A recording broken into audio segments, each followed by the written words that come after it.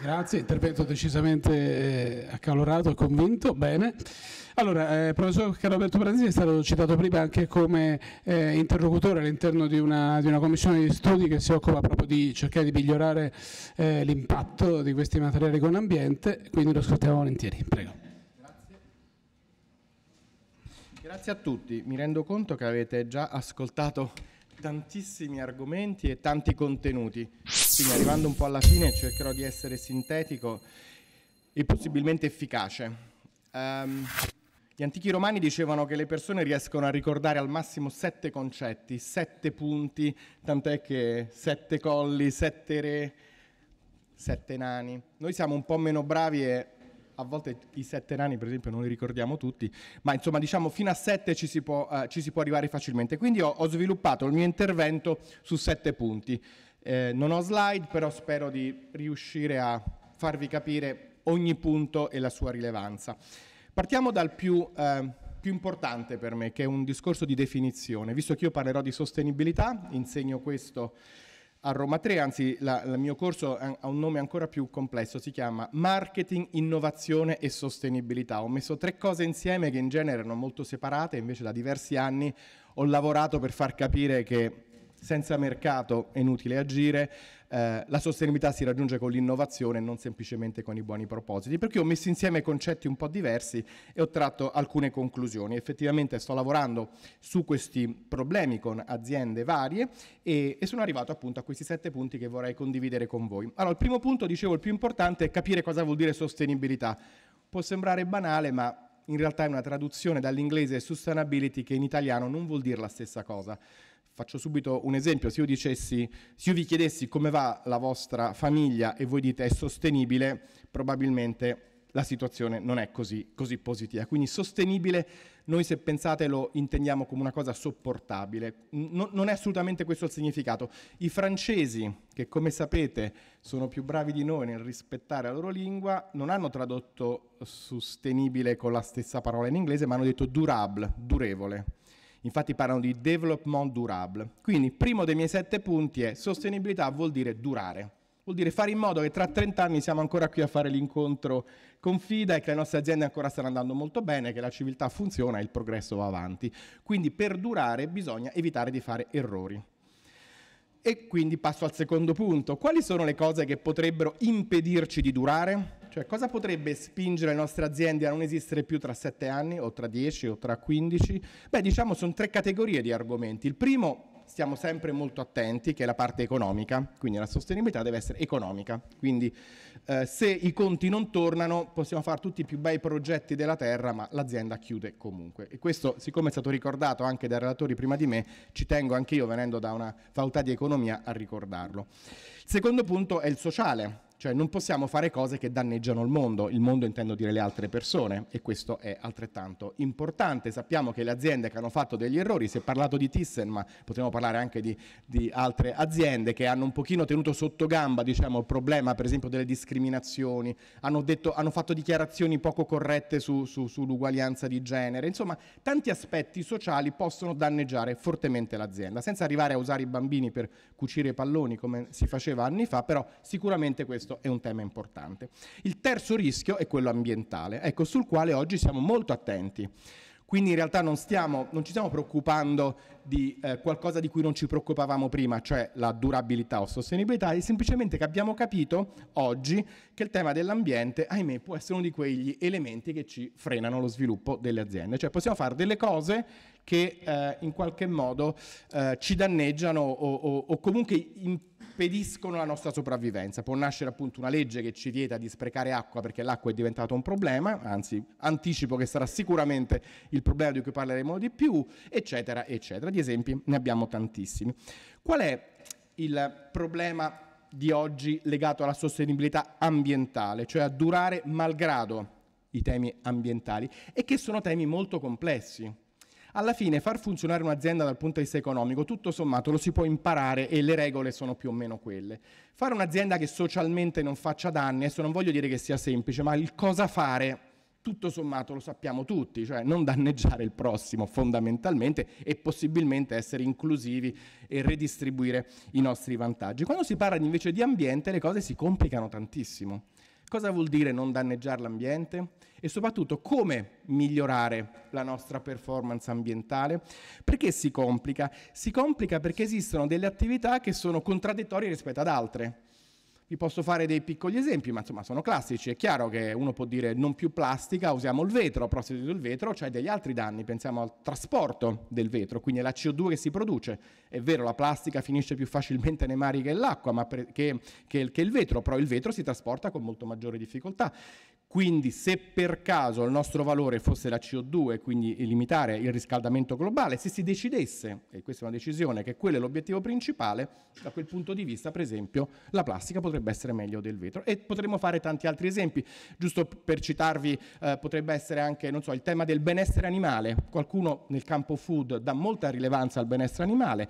Nel campo del benessere animale sappiamo che se le galline stanno per i pascoli invece che in gabbia stanno meglio, è vero, però in termini di CO2 quello è peggio che averle in gabbia. Ora qualcuno potrebbe dire meglio avere più CO2 ma galline felici, insomma esistono diversi trade-off molto rilevanti che non sono così ovvi. Quindi mentre nelle altre due variabili in qualche modo sappiamo qual è la strada, nel mondo dell'ambiente dobbiamo prendere delle decisioni e anche quando abbiamo preso delle decisioni dobbiamo studiare la soluzione, che non è semplice. E vengo al terzo punto. Il terzo punto è che a problemi complessi occorrono, ahimè, soluzioni complesse. È molto difficile che si riesca a trovare la soluzione semplice che risolve il problema ambientale. È molto difficile. Eh, vogliamo esempi recenti, a un certo punto si è parlato tantissimo di olio di palma, mm, qualcuno di voi sicuramente è stato, è stato coinvolto. L'olio di palma cosa vuole dire? Quando è stato detto li, evitiamo l'olio di palma o vietiamo, in realtà non è stato vietato, ma insomma il mercato sostanzialmente l'ha escluso, eh, non è che abbia risolto problemi, sappiamo che il, la, la, necessità di avere altri oli vegetali che peraltro sono meno produttivi del palma ha provocato magari deforestazioni in altri paesi, insomma abbiamo spostato un problema, quindi dire togliamo una cosa o prendiamocela con un elemento del sistema e così abbiamo risolto, non funziona. Almeno quei problemi complessi purtroppo non funziona mai. Dimagrire è un problema complesso, difficilmente si dimagrisce facendo una sola cosa, in genere ci dicono di farne tante, quindi c'è un impegno maggiore. E questo diciamo che è abbastanza di buonsenso, eh, è facile da ricordare. Quello che però non è così ovvio è che, ahimè, le persone amano le risposte semplici. Le persone amano pensare di aver capito con una risposta semplice, con un elemento semplice. Non solo le persone, ma anche i media.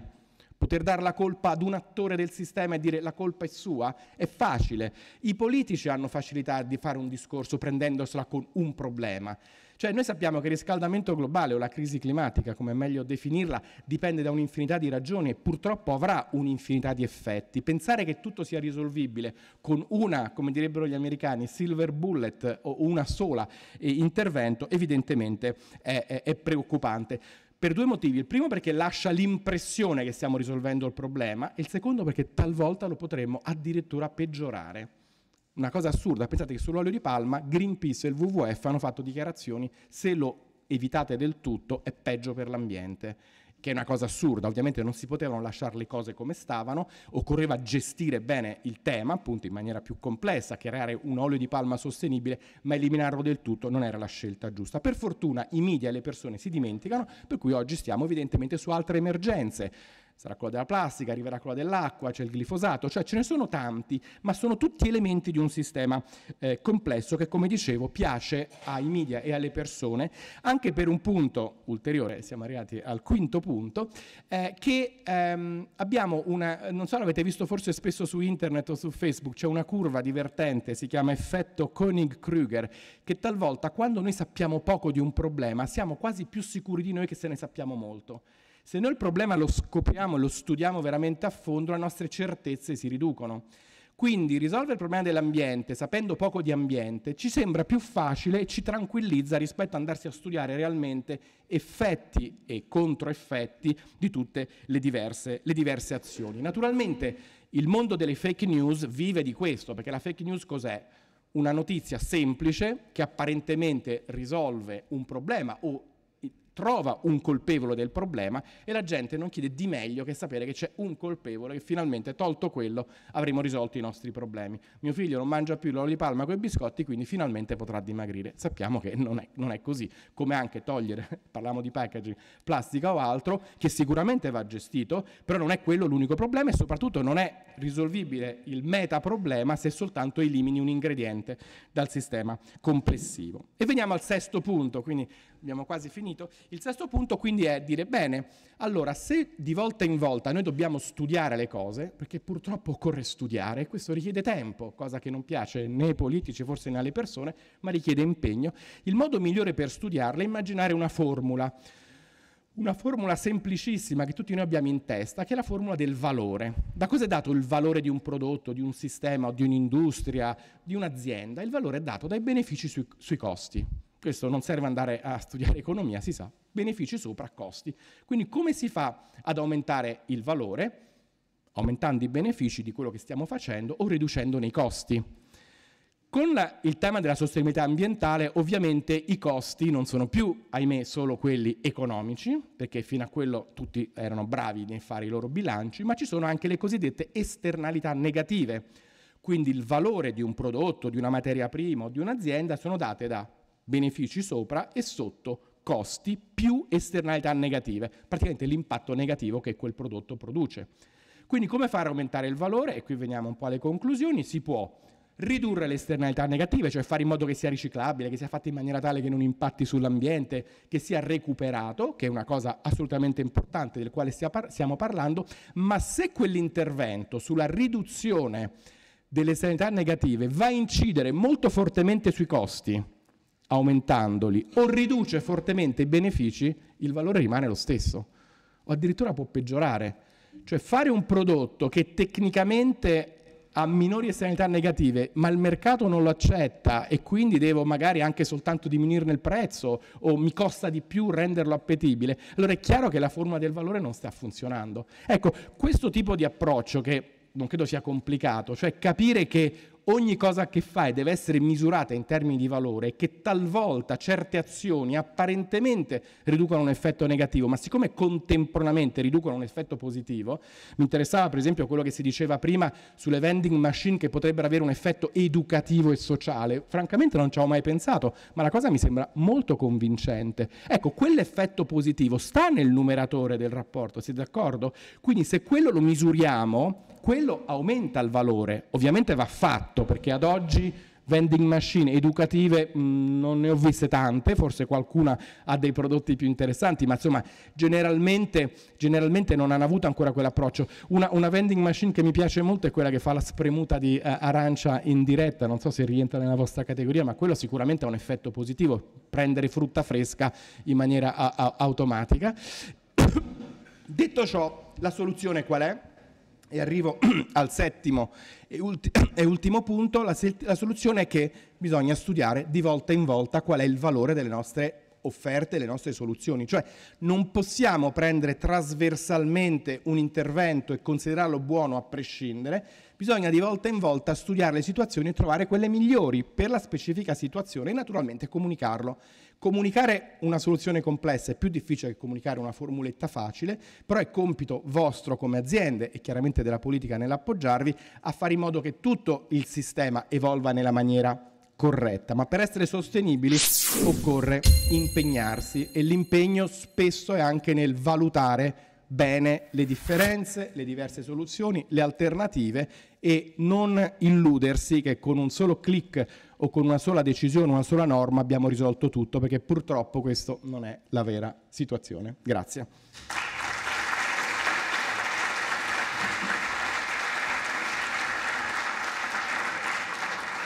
Grazie, grazie professor Pedesi. Allora cerchiamo qualche soluzione appunto da, da chi conosce le questioni a fondo quindi qualche proposta di soluzione. Ernesto Pironi Presidente del Gruppo Imprese di Servizi e Commercializzazione di Confida, oltre che Presidente di Venditalia. Prego. Buongiorno a tutti e benvenuti.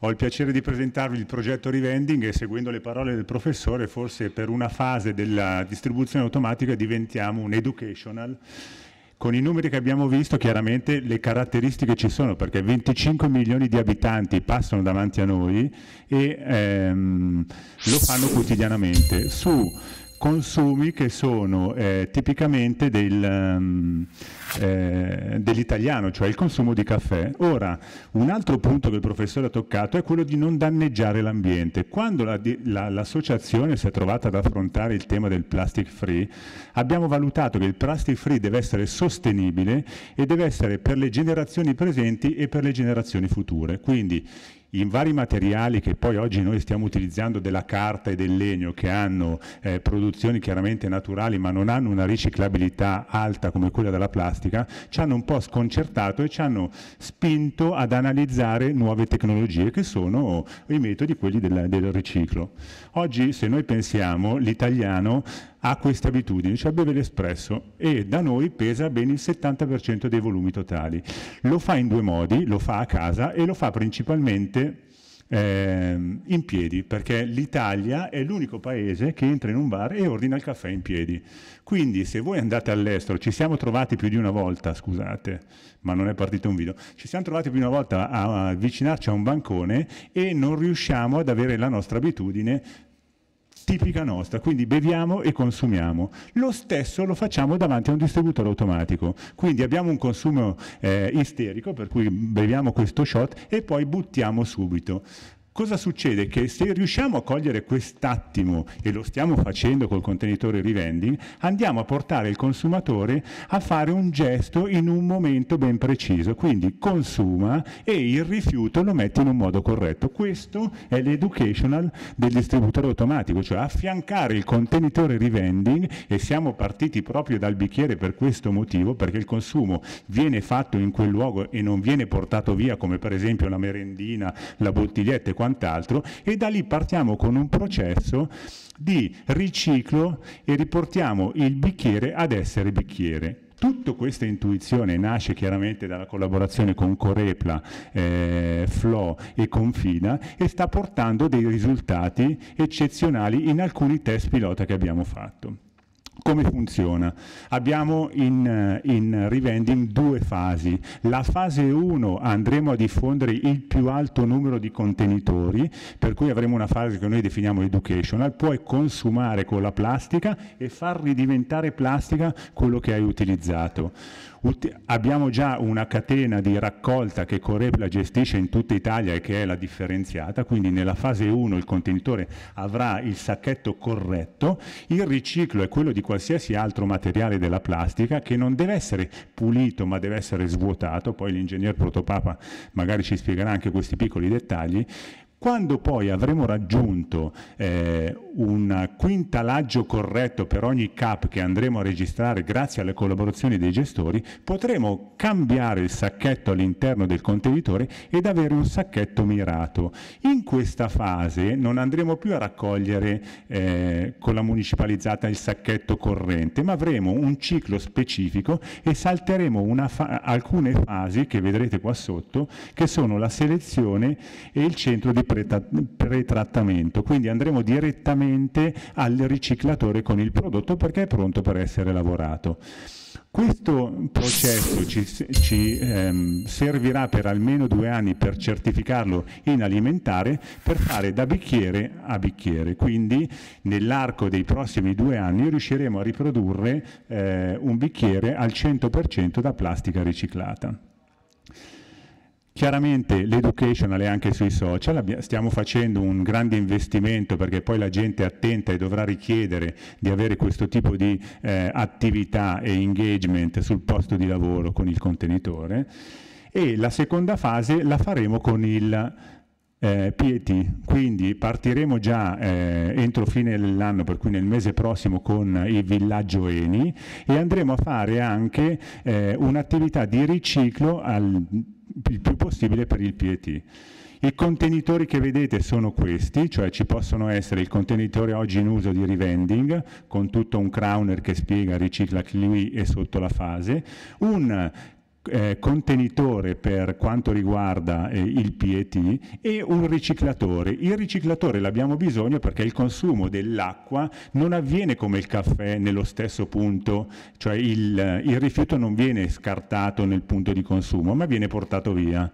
Quindi in alcune fasi noi dovremo attivarci con delle cauzioni e questo porterà sicuramente una, una gestione della chiavetta e del rimborso del consumo dell'acqua, ma avremo sicuramente un engagement perché ci riporteranno eh, il, il vuoto. Ora, i numeri sono molto importanti perché noi vogliamo raggiungere nel, già nel 2020 ben 2 milioni di italiani con la fase 1 e attivare la fase 2 per il PET per poi procedere anche con il resto. Il mondo del riciclato è ciò che salva l'ambiente oggi e lo protegge per generazioni future. Salvaguardiamo la leadership italiana eh, del monouso e sicuramente abbiamo prodotti che sono certificati eh, di qualità e ci permettono di avere prodotti che noi distribuiamo alimentari eh, garantiti e protetti. Ora, cosa chiediamo e quali sono le attività che Confida farà eh, nel breve futuro? Uno, raggiungere l'obiettivo nel grudinio finanziario e ottenere agevolazioni sugli investimenti dei punti di raccolta. Quindi noi abbiamo un costo in più per punto vendita e abbiamo bisogno di sgravi fiscali che sia dal, dal contenitore fino al compattatore. Questo è fondamentale. La seconda cosa è ottenere la detrazione eh, della tassa sulla plastica riciclata proporzionalmente, per cui se un contenitore ha il 30% di plastica riciclata, quella parte lì sarà esente da, da, da, tassa. La terza che abbiamo bisogno per il PET è che si cancelli il limite al 50% di materiale riciclato, perché l'Italia è l'unico Stato eh, in Europa che ha messo un limite del 50% nel riciclato delle bottiglie di plastica. Non si è ben capito come mai, ma per esempio in Germania ci sono già eh, produttori che hanno il 100% di plastica riciclata all'interno dei contenitori. Quindi io vi ringrazio del tempo, l'execution è la fase più importante, l'educational ce l'abbiamo perché andiamo a cogliere un'abitudine degli italiani che fanno quotidianamente e da qua partiamo per un lavoro di squadra per difendere quello che è l'attacco del nostro settore. Grazie. Grazie. Tanto direi che queste prime risposte appunto sono proporzionate a livello di complessità del problema, quindi rispondono a quello che era stato teorizzato bene da Pratesi. Allora, eh, Antonio Protopapa è direttore di ricerca e sviluppo del Corepa, del Corepa abbiamo appena parlato e quindi sapete benissimo di cosa stiamo, dove vogliamo andare a parare. Prego. Bene, buon pomeriggio a tutti. L'ora di pranzo eh, ormai si sta avvicinando, arrivo dopo. Però siamo perfetti con i tempi. Sì, sì, eh, siamo, nei tempi. Perfetti.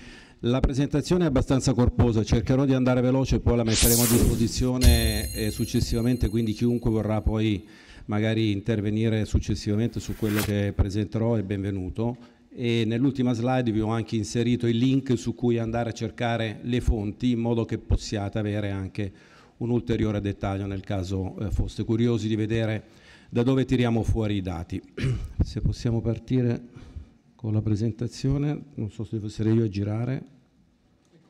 Eccomi qua. Allora, la prima cosa è il plastic free.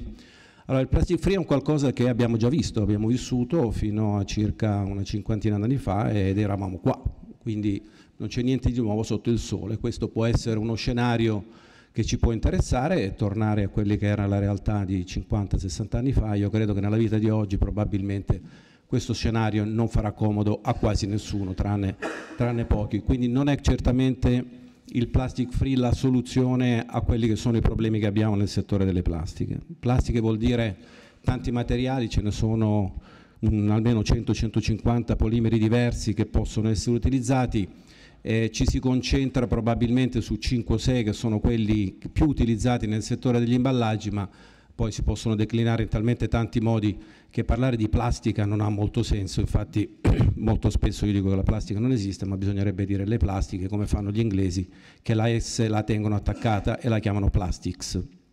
Questo perché?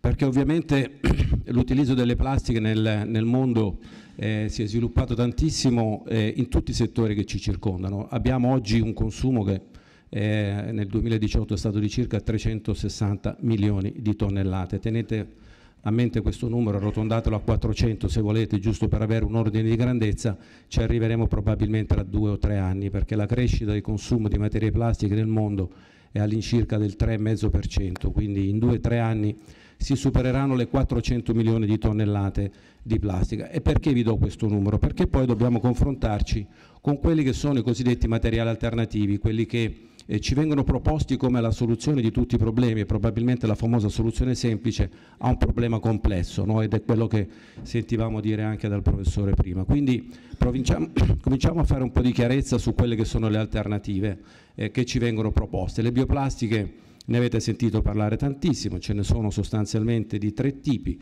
una, una famiglia che è quella delle famose biodegradabili e compostabili, una che è di origine bio ma non è biodegradabile e compostabile, poi ce n'è una fascia che è quella che vedete in mezzo, che si sovrappone e che di fatto può essere sia l'una che l'altra cosa. Qui abbiamo provato a riassumere prendendo questo grafico dove si intersecano le varie famiglie, le sigle sono abbastanza complesse, per chi ha voglia su Google trova tutto, però quello che deve rimanere come concetto è che nell'ambito delle bioplastiche ci sono sostanzialmente due grandi gruppi, quelli che hanno delle materie, origine, eh, materie prime di origine rinnovabile, ma che sono identiche alle altre e che quindi se io ottengo delle materie prime come l'etilene partendo dallo zucchero di canna e faccio etanolo, parto da una materia prima rinnovabile, ma la materia finale, il prodotto, il polimero finale che ottengo è esattamente identico a quello che si ottiene partendo da gas o da petrolio, quindi di fatto non è né biodegradabile né compostabile.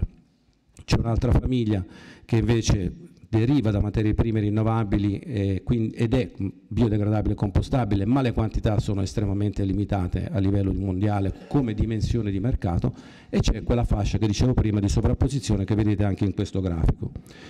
I numeri, ricordiamo il consumo, mondo 400 milioni di tonnellate, il settore degli imballaggi ne consuma circa il 40%, quindi parliamo di 150-160 milioni di tonnellate all'anno di consumo. La capacità mondiale di produzione di bioplastiche, sia quelle di origine rinnovabile e compostabili, sia quelle di origine rinnovabile ma non compostabili, in tutto supera di poco i 2 milioni di tonnellate a livello globale. Quindi vuol dire che di fatto questa non è una soluzione percorribile per quello che è il nostro mondo. Il settore degli imballaggi non può fare affidamento su un prodotto la cui disponibilità è un ventesimo di quella che è la domanda totale. Allora dobbiamo pensare a quelli che potrebbero essere eventualmente altre soluzioni, tenendo conto che comunque anche con la crescita ipotizzata di produzione dei prossimi anni rimarremo sempre al di sotto di quello che è anche l'utilizzo minimo soltanto in Italia. In Italia consumiamo 2 milioni e mezzo di tonnellate di materie plastiche per produrre imballaggi. La quantità totale prevista nel 2023 è di 1 milione e 300 mila. Facciamo anche che si sono sbagliati e che arrivino a 2 milioni di tonnellate, non basterebbero neanche per il fabbisogno italiano. Quindi per tornare al discorso della soluzione semplice al problema complesso, le bioplastiche sono sicuramente un ingrediente fondamentale che serve, utile, ci sono alcuni settori dove è assolutamente insostituibile, come quello della, della, gestione della frazione organica quando si fa la raccolta differenziata dell'umido, perfettamente eh, allineata con quelle che sono le necessità anche del consumatore, tanti altri settori dove invece ha poco senso. Bene, l'altra cosa vorrei, su cui vorrei farvi riflettere è la definizione di monouso, anche questa viene abusata. Il monouso, tutti gli imballaggi sono monouso, per definizione, cioè se io ho una cosa imballata, una volta che ho tolto il prodotto dall'imballo, non è più riutilizzabile, tranne i casi rarissimi. Ma allora vogliamo attaccare il monouso o vogliamo attaccare gli imballaggi? E qui nasce la diatriba per cui anche a livello governativo, invece di fare una, eh, un decreto su quella che è la plastica monouso, che è quello che la Commissione direttiva e il Parlamento europeo hanno indicato come l'area su cui intervenire, noi siamo andati sul monouso inteso come imballaggi e qui si apre un mondo che ovviamente eh, ci, porta, ci porta lontano.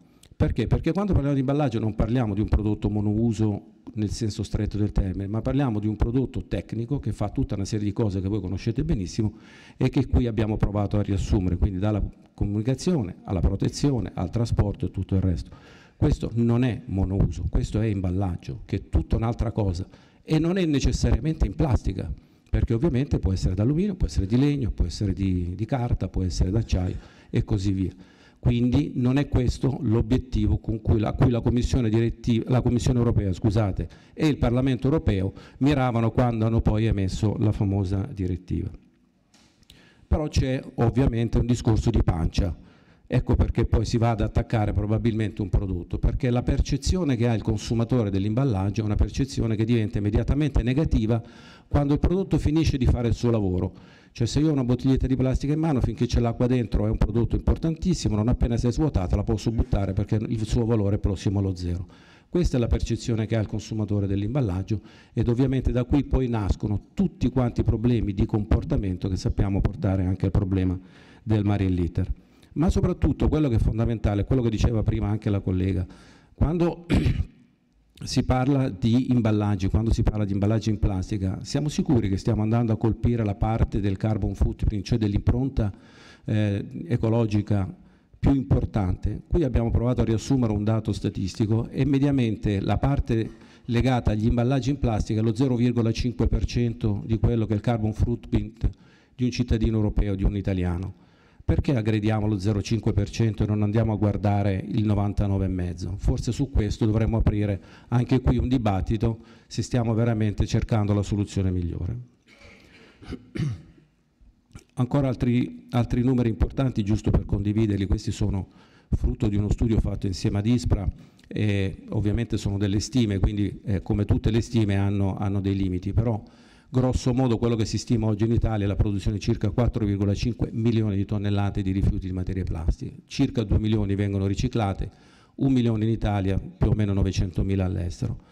Come si fa ad ottenere dei risultati migliori? I risultati migliori si possono ottenere per ridurre sia la discarica ovviamente che la termovalorizzazione implementando nuove tecnologie, facendo innovazioni, introducendo nuove metodologie anche nell'ambito del riciclo. Non basta più parlare di recupero di materie, che è quello che tutti conosciamo come riciclo, dobbiamo cominciare a parlare anche di recupero di materie prime, quindi di andare a lavorare su quello che volgarmente viene chiamato riciclo chimico, che sarà la soluzione del problema. Tra cinque anni ci saremo dimenticati probabilmente del problema delle plastiche, perché le aziende stanno già lavorando da almeno tre o quattro anni nel trovare nuove alternative al riciclo meccanico quando il riciclo meccanico non è sostenibile.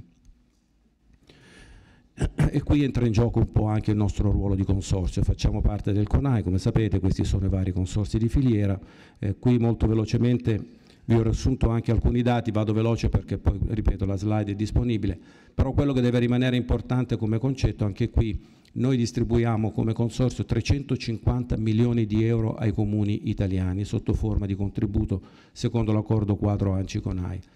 I comuni hanno tutto l'interesse a fare la raccolta differenziata anche della plastica monouso, soprattutto della plastica monouso e ovviamente degli imballaggi che sono quelli che interessano, che interessano noi e su cui si fa la raccolta differenziata. Perché sottolineo questo aspetto? Perché alcune volte arrivano degli messaggi attraverso anche colleghi di Confida, eccetera, che ci sono dei comuni che si rifiutano di ritirarli perché non sono puliti.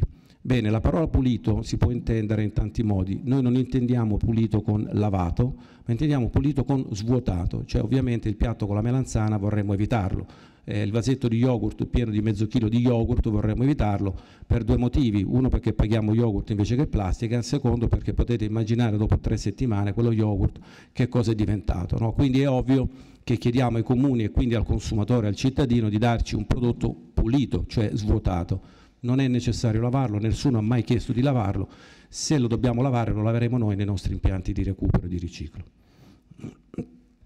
La raccolta differenziata in Italia è cresciuta, continua a crescere, siamo una delle attività che cresce con due cifre, nel 2018 siamo arrivati a 1.200.000 tonnellate, nel 2019 siamo probabilmente a 1.400.000 tonnellate, quindi è una storia di successo quella della raccolta differenziata in Italia, di cui tutti dovremmo essere a conoscenza ed orgogliosi perché siamo tra i migliori in Europa. Di questo eh, nessuno probabilmente ancora ce ne dà merito, probabilmente succederà nei prossimi anni. E il prodotto più riciclato di tutti è proprio il famigerato PET delle bottiglie di plastica che oggi è uno degli argomenti principalmente in discussione.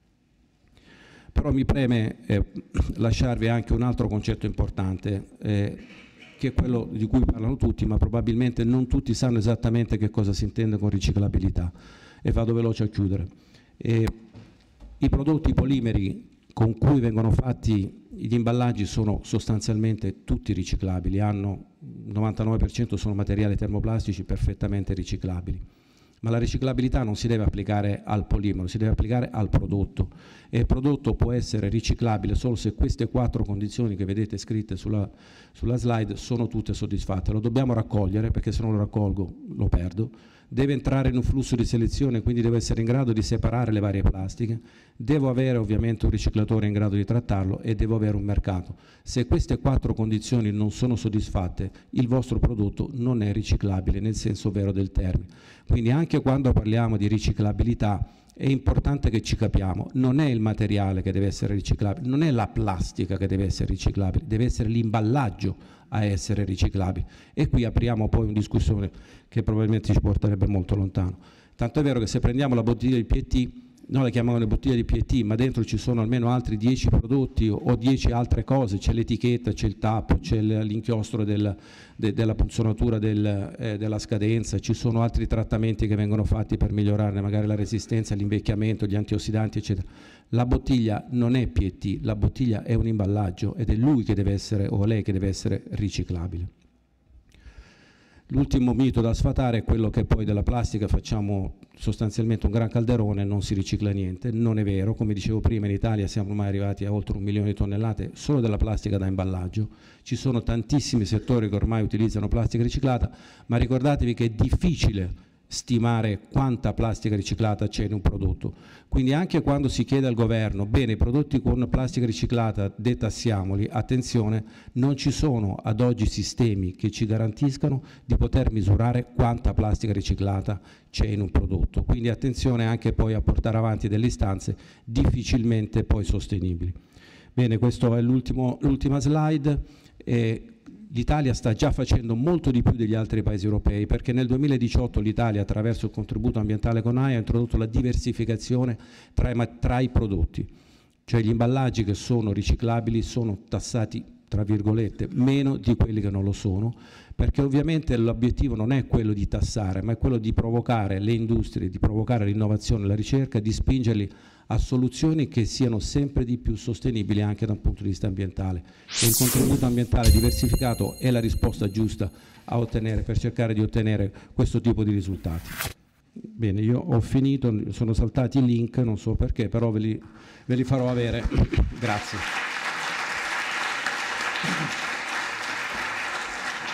Grazie, grazie molto Claudio Bilotti da parte del mondo diciamo, plastiche e materiali Eni. Versalis, prego.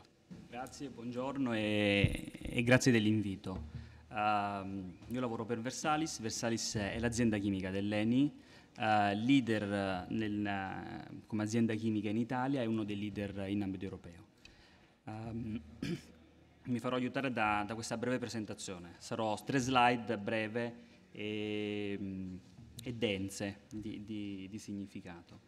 Uh, noi siamo un'azienda chimica e, un, e, già da un po' di anni um, consideriamo la circolarità più di qua.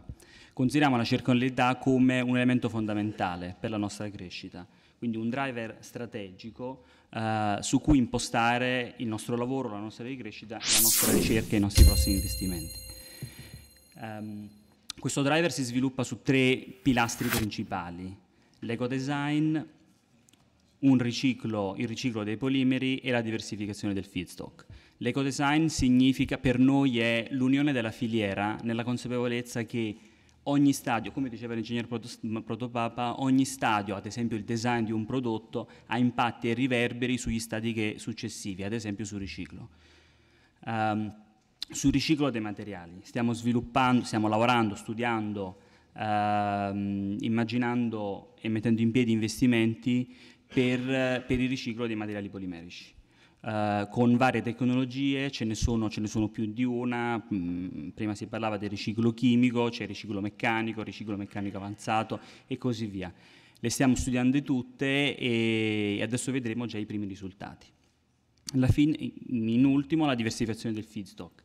Uh, il feedstock, feedstock tradizionale è quello, è quello da fossile, Um, sono anni che stiamo lavorando e diversificando il feedstock per, per trovare un ottimo in termini di il feedstock esistente, eh, un feedstock bio o sostenibile e un feedstock da materiale riciclato.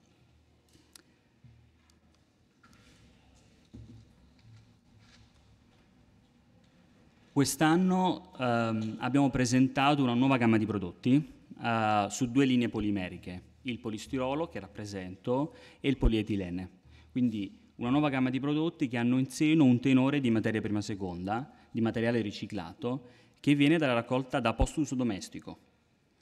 Eh, sul polietilene, è quello che vedete sulla, sulla vostra sinistra, sono una gamma di prodotti che contengono fino al 75% di materiale prima seconda per applicazioni che vanno soprattutto nell'ambito del quindi LDPE ed HDPE che vanno nel film e nel settore agricolo. Nell'ambito del polistirolo, sulla parte sulla vostra sinistra, eh, è nell'ambito dell'EPS, quindi polistirolo espandibile. Con, eh, e qual è l'applicazione? L'applicazione è, sono le lastre per isolamento, per isolamento termico delle nostre case. Entrambi questi prodotti sono, stati, eh, sono disponibili e sono stati presentati sul mercato. L'ultimo, quello del, dell'IPS per isolamento, eh, da pochissimo tempo, proprio il mese scorso. Eh, prima abbiamo parlato quindi di, di, di, di sviluppo, di ricerca, di, investimenti. C'è un terzo punto che, che, è importante, è quello dello, dello sviluppo e della promozione delle, delle, filiere dedicate, cioè quindi di tanti piccoli progetti eh, che insieme eh, possono dare e danno un contributo importante. Il revending, il progetto di revending è uno di questi. Noi, abbiamo, noi come, come Versalis e come Eni abbiamo sposato con entusiasmo questo progetto ehm, e l'abbiamo, è un progetto pilota avviato ad ottobre, quindi siamo giovani su questo mondo, abbiamo due, due mesi e, e, abbiamo abbracciato l'idea della, di, quest, di, questa filiera corta e, e, mh, corta e tutelata perché permette di ottenere eh, dei processi di purificazione e di riciclo più semplici di, una, di un processo normale di, di, riciclo e ottenere dei prodotti finali di, alta, di alto valore aggiunto, con altra qualità. I, I, risultati che abbiamo avuto sono sia in termini di feedback, a partire dal feedback dai, nostri, dai, dai miei colleghi, dai me e dai miei colleghi, sono molto importanti. E credo che la cosa più importante sia un, un percorso di responsabilizzazione, cioè essere sicuri che il gesto uh, semplice, ma il gesto che si fa di prendere il bicchiere, di pulirlo e di metterlo nel posto giusto ha un valore e il valore si misura nel, nel, nel, nell'andare ad individuare il prodotto poi finale che si farà. E in quest'ottica c'è il, la sinergia che noi come Versalis abbiamo avuto eh, sul progetto revending. Noi utilizzeremo il, la materia prima seconda da, originata dal progetto revending come un co-feedstock, come un ulteriore feedstock per, nostro, per, i nostri prodotti EPS per isolamento, insieme a quelli che normalmente ci dà, prendiamo da Corepla, quindi insieme al piatto di plastica che verrà bandito, vasetto di yogurt e tutti i vari prodotti in packaging in polistirolo, eh, aggiungeremo con piacere, perché sarà molto puro, anche quello del revending.